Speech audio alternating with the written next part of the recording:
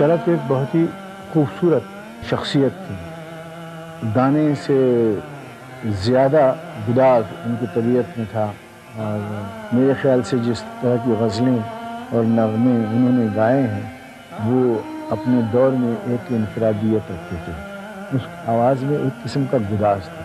एक अनोखी किस्म की एक खासियत थी जो लोगों को बहुत मकबूल थी और हम खुद जब गाते थे उनका गाना तो वो इन्जॉय करके गाते सपनों की सुहानी दुनिया को आँखों में बसाना मुश्किल है।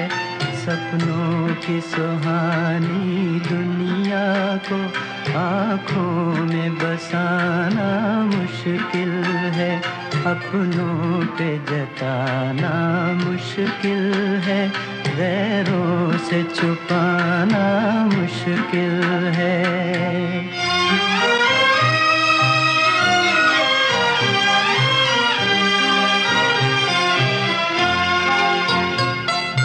मेरा बचपन बीत चुका है, मेरा बचपन बीत चुका है। दिल का लड़कपन बाकी है, दिल का लड़कपन बाकी है, हाय बाकी है।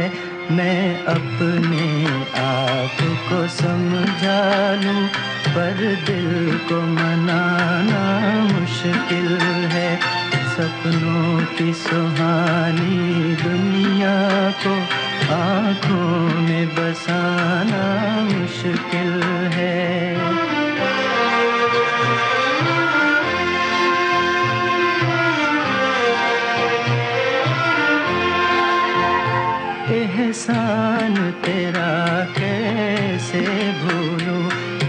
एहसान तेरा कैसे भूलूं? तेरे गम के सहारे ज़िंदा हूँ। तेरे गम के सहारे ज़िंदा हूँ। हाय, ज़िंदा हूँ। वरना इन जाती सांसों का फिर लौट के आना मुश्किल है। सपनों की सुहानी दुनिया को आँखों में बसाना मुश्किल है।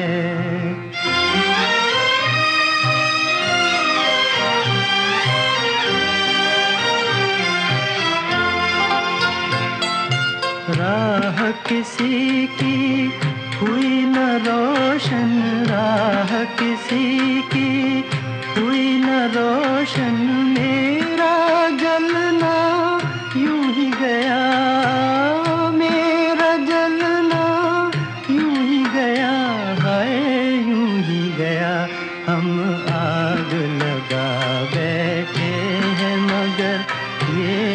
आग बुझाना मुश्किल है।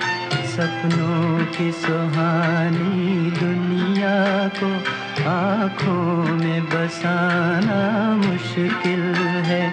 अपनों पे जताना मुश्किल है। गैरों से छुपाना